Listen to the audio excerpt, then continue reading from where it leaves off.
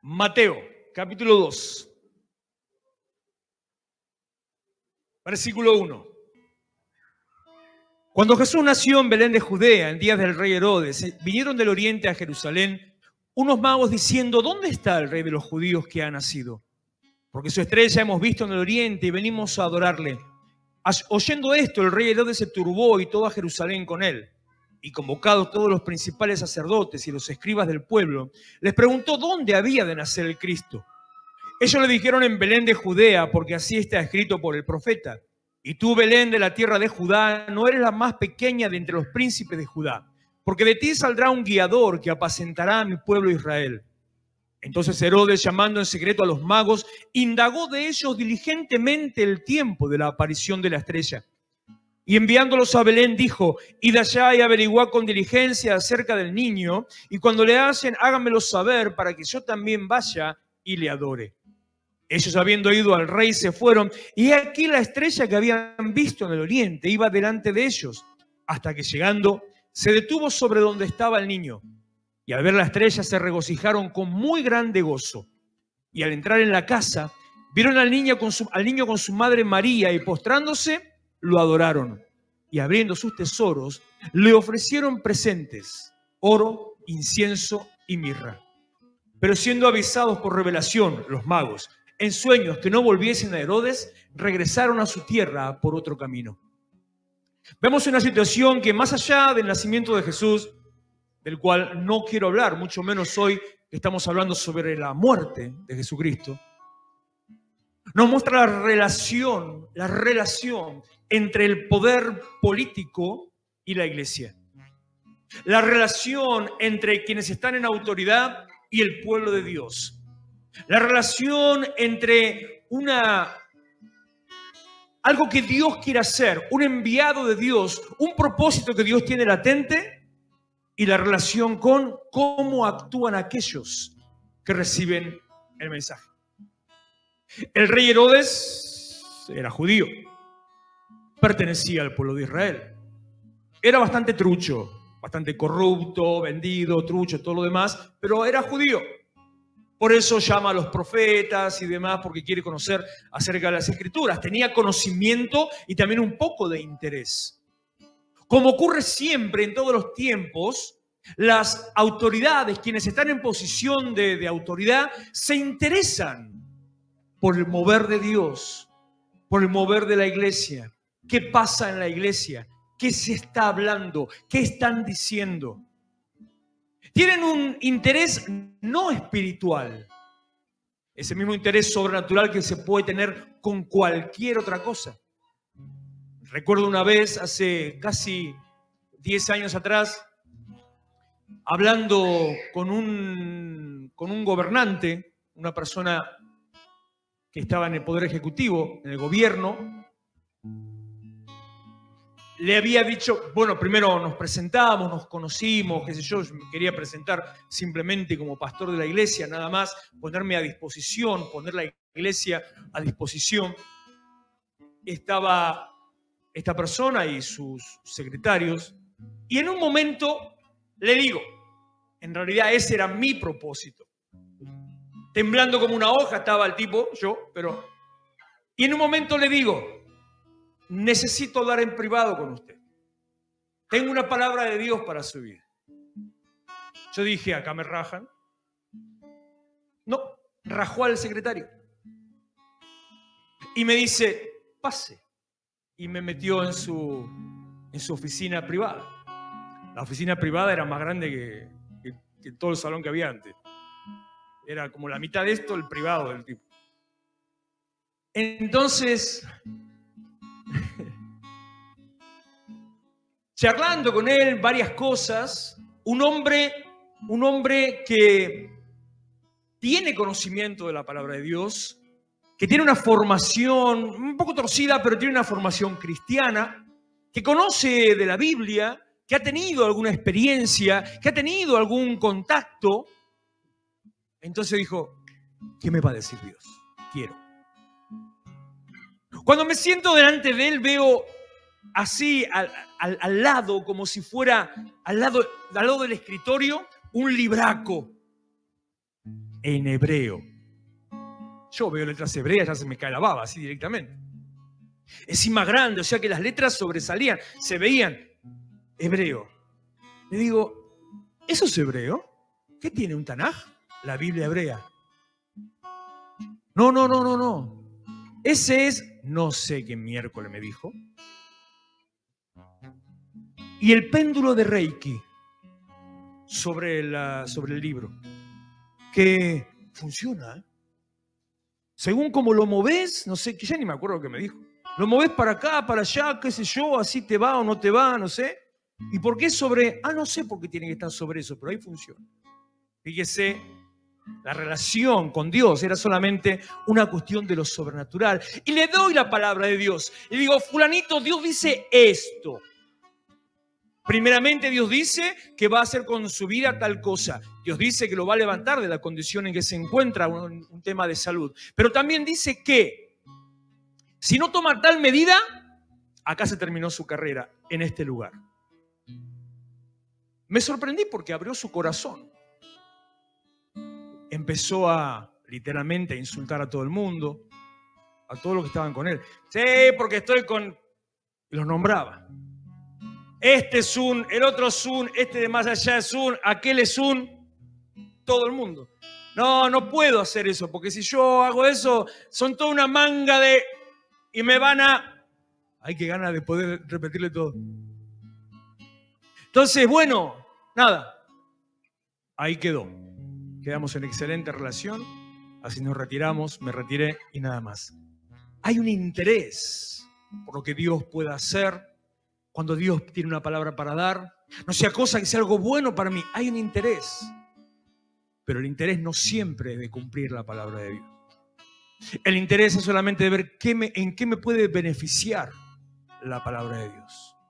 El interés es qué puedo sacar yo de beneficio para mí. de lo que hizo con todo el conocimiento que tenía y el que no tenía, cuando conoce a estos magos, busca a los profetas que investiguen en la Biblia, en las escrituras, y cuando tiene ya más o menos el material, les miente. Y le dice, vayan, quiero adorar al rey que nació. Pero lo único que quería era ver dónde había nacido para liquidarlo. No quería servir a Dios. No quería adorar al enviado de Dios. Quería sacarse un problema de encima.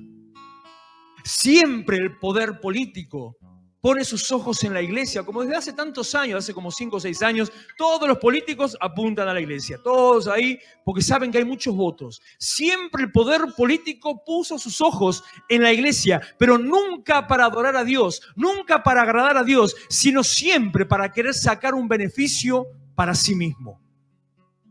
Qué error cuando la iglesia acepta, hace pacto hace arreglo, se pone de acuerdo y van todos juntos para el mismo lado.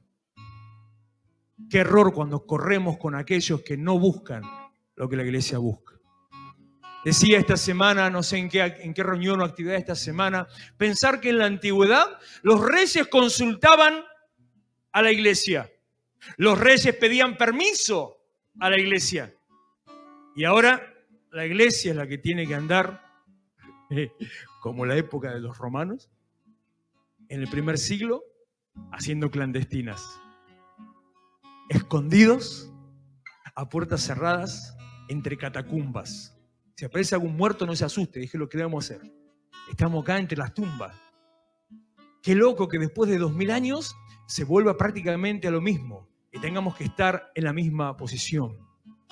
Entonces es tiempo de entender quién soy, ¿Y qué hizo Dios conmigo? Versículo 13. Después de que los magos partieron, he aquí un ángel del Señor apareció en sueños a José. Y le dijo, levántate.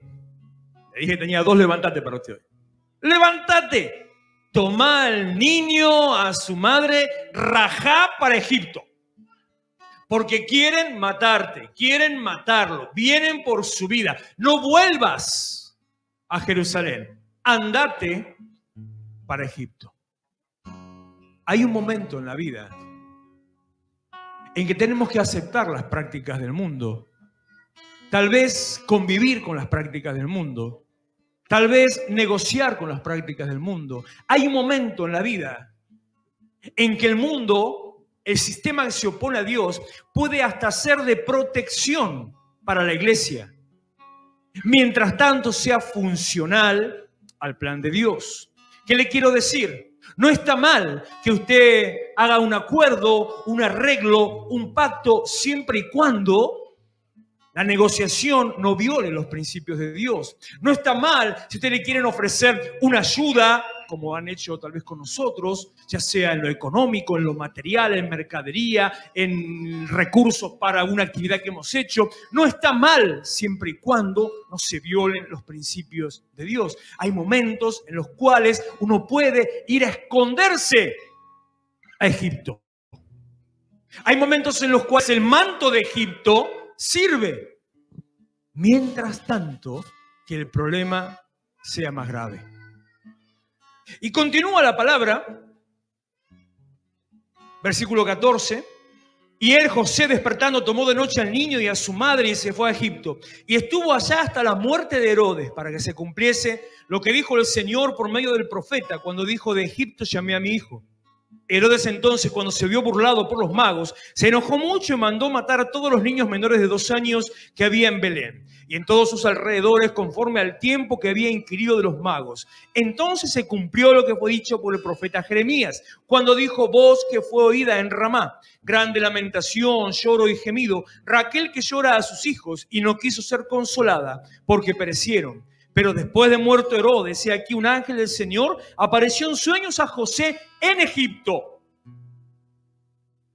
Estando en oscuridad, estando en el sistema que se opone a Dios, estando alejado de Dios, estando negociando con el enemigo, estando pactando con aquel sistema y aquella gente, aquella forma, aquellas condiciones que no son de Dios, aún estando en ese lugar, el ángel lleva una palabra porque seguía teniendo sobre José, sobre la madre y sobre el niño, seguía Dios teniendo un propósito fundamental.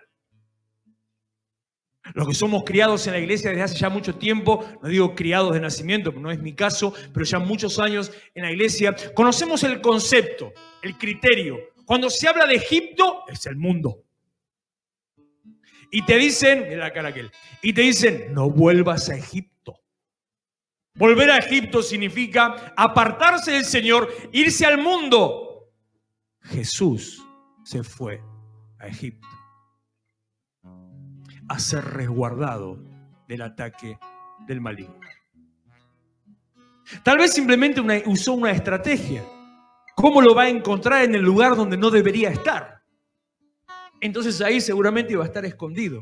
Pero hay un momento, llega un momento en que sea donde sea que estés, independientemente de la condición en la que te encuentres, independientemente de la situación externa donde vos estás, te pase lo que te pase, estés como estés, hay un momento en que vuelve Dios, que no se olvidó de vos, y ahora en este caso va a Egipto.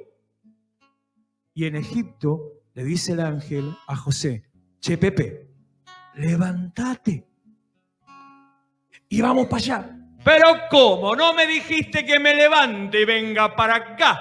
Si acá estoy cómodo. Si pongo la pava y miro la reunión sentado en mi casa. Si puedo estar en pantufla para ver el culto acá. Si puedo andar en pijama. No me tengo que andar poniendo los ruleros acá. Puedo seguir acariciando al perro mientras estoy acá mirando el culto. Y si me agarra gana, ir al baño, no me ve nadie, me puedo levantar tranquilo y me voy para el baño. En total, no pasa nada.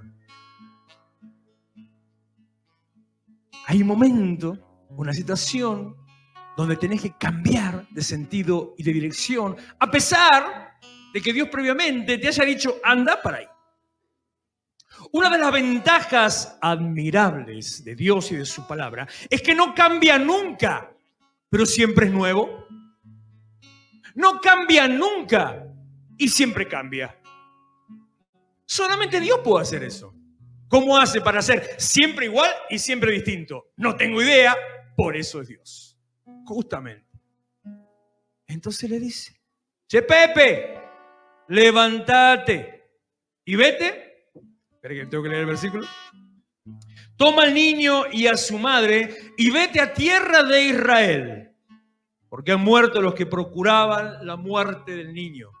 Hay un momento en el cual el mundo te sirve de resguardo del sistema que viene contra tu vida. Pero ese momento, como todas las situaciones, como nos dijo Dios el día, ya ni me acuerdo si fue el miércoles o el lunes, creo que fue el miércoles, como nos dijo Dios, el tiempo ya terminó, la hora ya está marcada, hasta acá llegó la hora, entramos en un tiempo nuevo, es un tiempo de renuevo, ya vino la lluvia temprana que preparó la tierra para la siembra, es momento de sembrar para luego poder cosechar y que la lluvia tardía traiga un grano abundante y un fruto abundante sobre tu vida.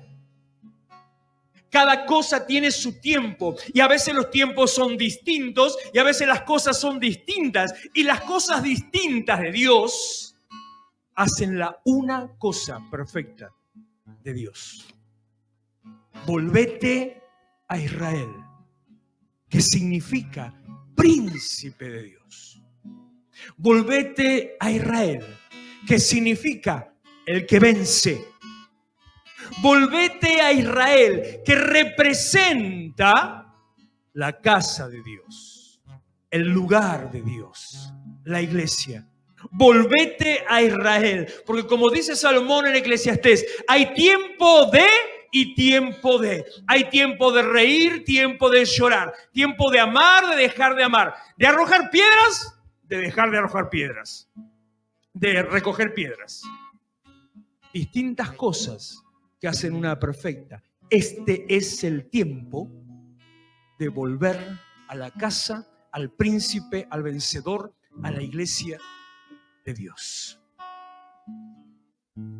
Entonces él se levantó y tomó al niño y a su madre y vino a tierra de Israel. Y ya todo lo que usted sabe a continuación.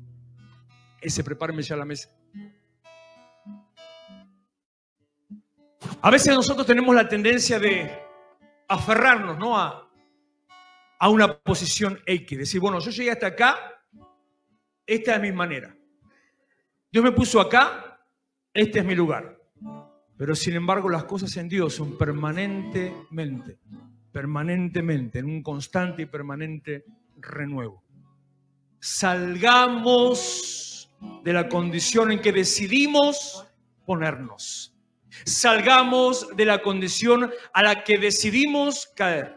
Salgamos del lugar en el que nos permitimos entrar. Si aprovechamos el cuidado del mundo por tanto tiempo, es tiempo de volver a la casa del Señor.